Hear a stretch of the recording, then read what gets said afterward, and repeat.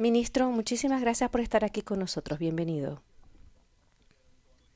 Muchas gracias por la invitación. Ya ha pasado casi un año. Estamos hablando de que faltan horas para que suceda ese, ese aniversario desde de la invasión.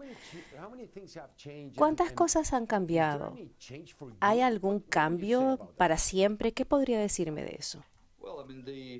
Bueno, desde el 24 de febrero, el día en el que nuestras vidas cambiaron para todos los ucranianos, porque nosotros eh, imaginamos que podíamos perder literalmente nuestra Ucrania querida, nuestros pueblos, nuestras ciudades, todo por lo que habíamos estado luchando y estableciendo y eh, construyendo desde la independencia. En un par de semanas se podía haber derrumbado todo por la invasión, invasión rusa. Pero ahora, ahora que estamos hablando a un año vista de lo que sucedió, estamos felices. Felices porque Kiev sigue siendo libre, Ucrania sigue siendo libre, aunque nosotros eh, hemos... Eh, visto mm, que Rusia ocupa 18% de nuestro territorio, pero el gobierno está trabajando, la gente está luchando, no solo los soldados en la frente, eh, sino también eh, esas líneas que son de 500 kilómetros.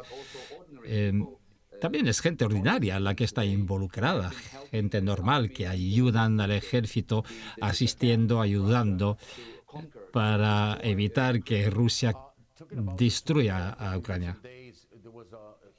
En los últimos días hubo una visita histórica del presidente Biden.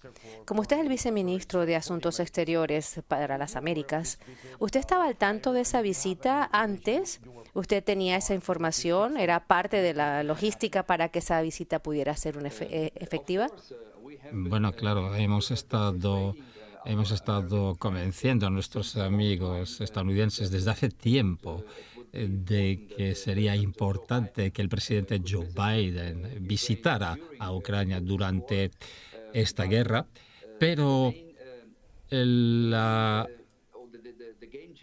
lo que cambió todo fue la visita de nuestro presidente Volodymyr Zelensky en, eh, a Estados Unidos. Fue su primera visita desde el principio de la guerra y creo que esa visita realmente cambió muchas cosas. Él mm, convenció personalmente al presidente Biden a tomar ese riesgo, a tomar ese paso, que no estaba tan claro porque hay tantos peligros que había que tener en cuenta, que rodeaba esa visita.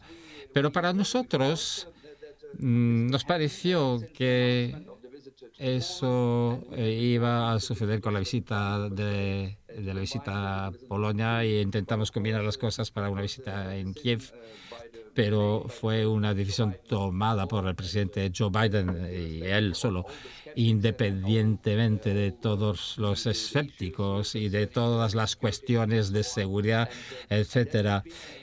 Mm, ha sido una visita realmente histórica, porque como bien sabe usted, la última vez que un presidente de Estados Unidos vino a Kiev fue hace casi 15 años.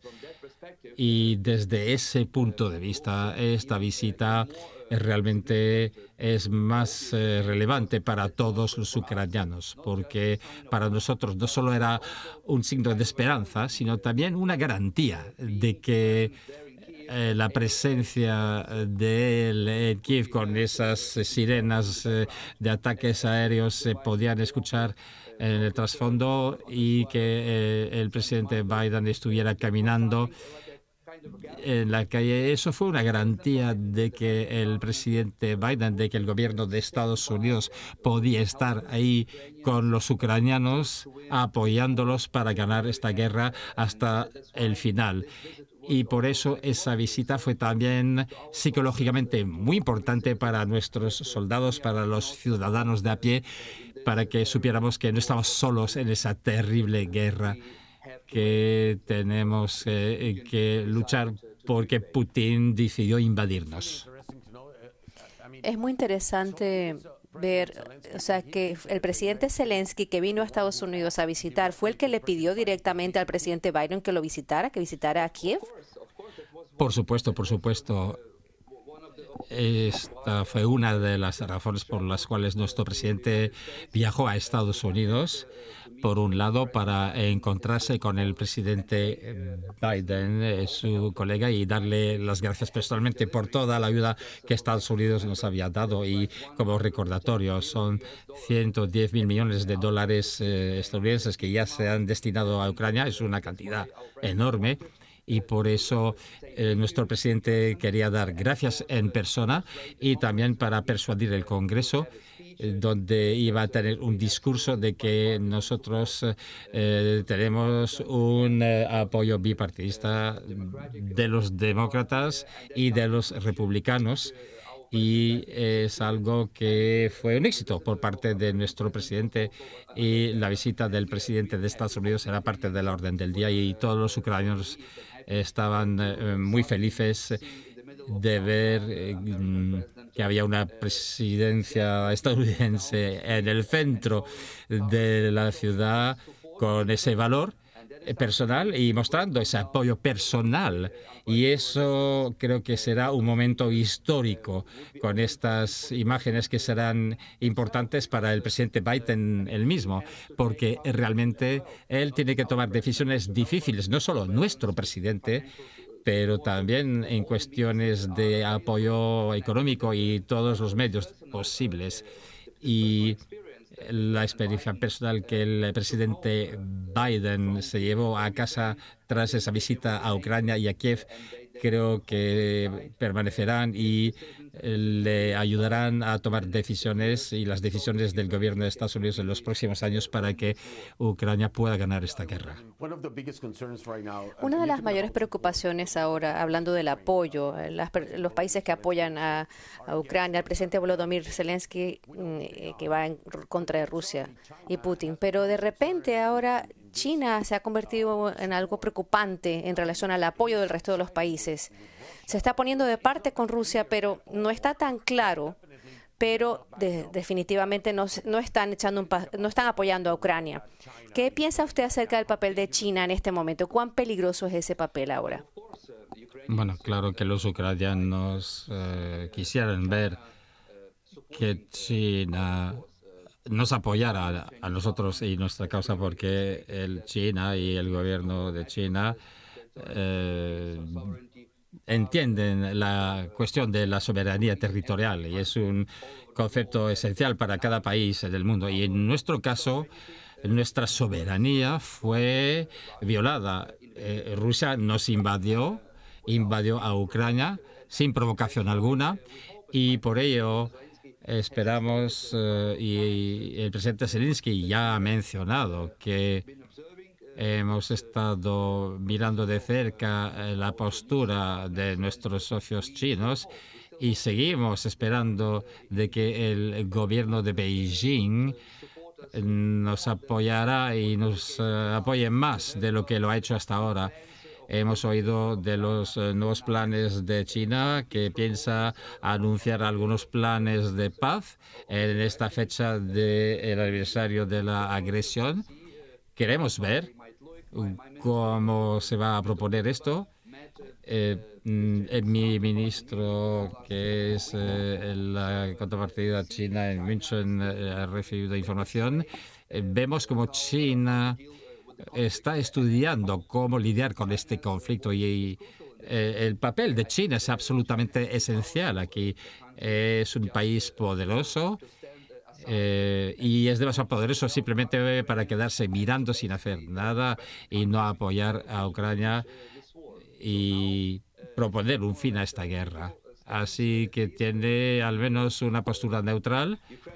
Los ucranianos esperan de que, aunque China ha estado mm, observando, no ayude a Rusia porque esperamos que vaya a seguir siendo así, pero sobre todo China podría utilizar su influencia política, su influencia moral sobre el liderazgo ruso para que se acabe esta guerra.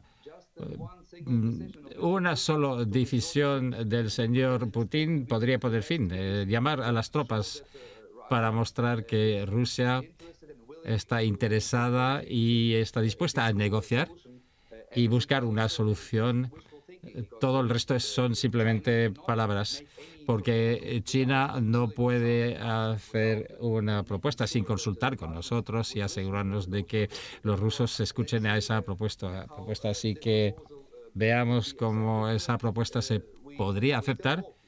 Seguimos esperando, aunque ha pasado un año, de que China podría tener un papel realmente central en este conflicto porque el futuro de China también depende de cómo acaba esta guerra y también de lo mucho que se puede llegar a prolongar. No solo desde un punto de vista económico, porque toda la estabilidad del comercio ha sido dañada de forma mayor, no pensamos que a China le interesaría que esta guerra, esta agresión eh, siga por parte de Rusia sin consecuencia alguna. Así que ah, vamos a ver, vamos a ver, eh, seguimos siendo optimistas de poder intentar persuadir al liderazgo de China con nuestros eh, socios de que China puede tener un papel también en términos de armas nucleares. China también es una potencia nuclear y también me gustaría recordar eh, a los eh, televidentes de que eh, China ha, dado sus garantías a Ucrania de que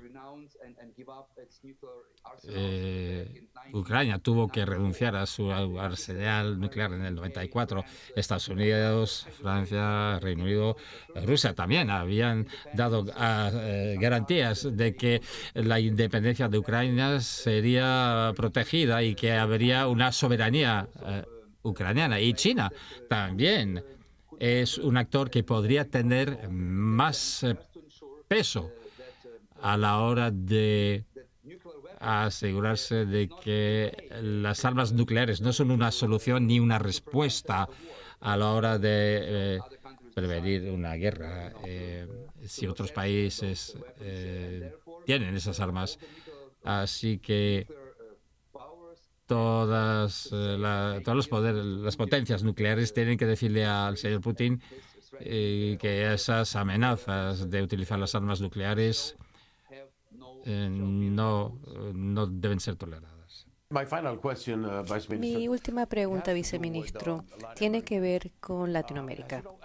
Como usted sabe, hay, pocos países que, que tienen algo muy claro entre, en contra de Rusia y su invasión y están apoyando a Ucrania.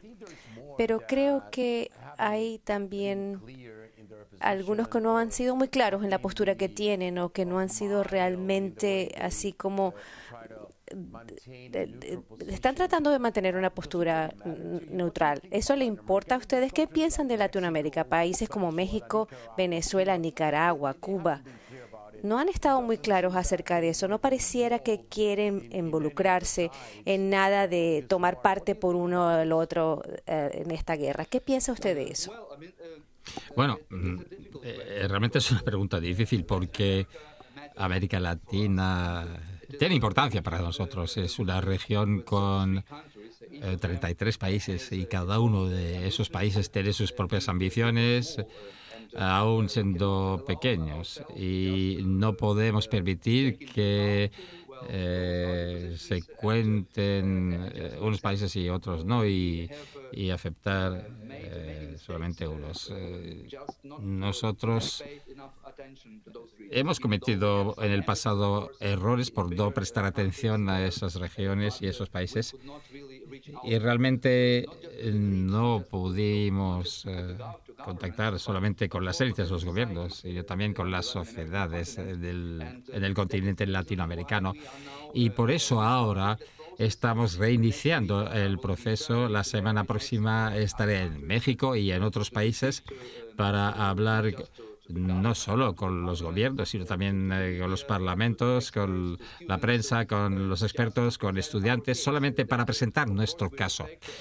Claro, respetamos eh, las posturas de los gobiernos de cada uno de esos países, pero todavía tenemos la esperanza de poder tener éxito mm, para ir gradualmente convenciéndolos de que entiendan lo que pasa en Ucrania, que eso tiene importancia para esos países también, aunque haya esa distancia geográfica, pero lo que importa y lo que está en juego es la base del orden internacional, del derecho internacional.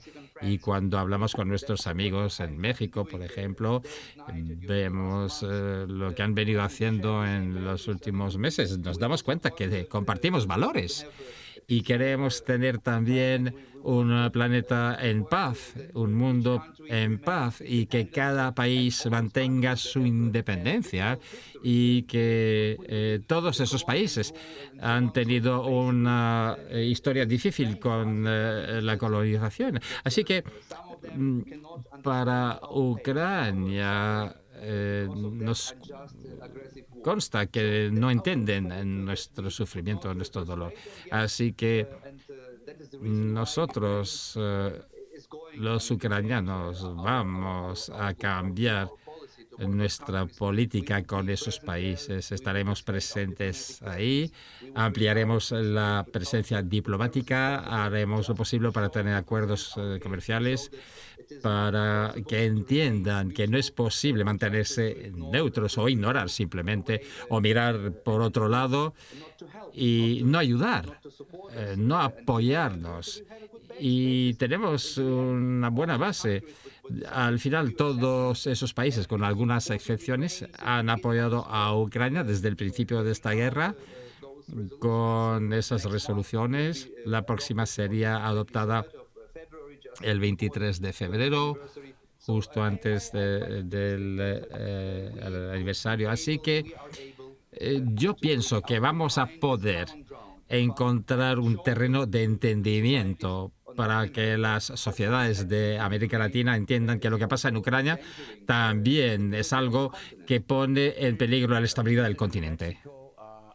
En México, ¿hay alguna posibilidad que se reúna con el presidente Manuel López Obrador si va a México?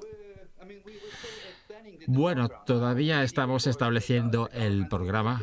Eh, claro que los representantes del gobierno y el Parlamento están en esos planes. Todavía no tenemos eh, las cosas definidas. Eh, ojalá el presidente de México hallara un momento para aceptar entre una entrevista conmigo para unos minutos y con mucho gusto presentaría mi caso, nuestro caso, y también con el eh, presidente Zelensky, que estaría más que contento de hablar con su homólogo mexicano. Estamos intentando seriamente cambiar las cosas, cambiar la dinámica y con muchos europeos lo mismo no se han fijado en Latinoamérica desde hace tiempo y ahora vemos que la Unión Europea también quiere acercarse a la región y estrechar los lazos, porque somos aliados, tenemos los mismos valores y tenemos libertad de prensa, derechos humanos, eh, tenemos esos valores en común y por lo tanto